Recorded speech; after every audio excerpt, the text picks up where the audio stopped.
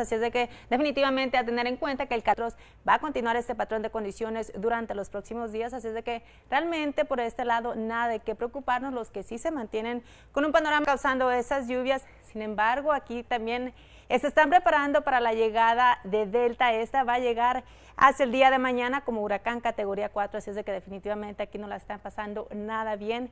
Este después de que toque tierra aquí sobre la península de Yucatán va a seguir su trayectoria.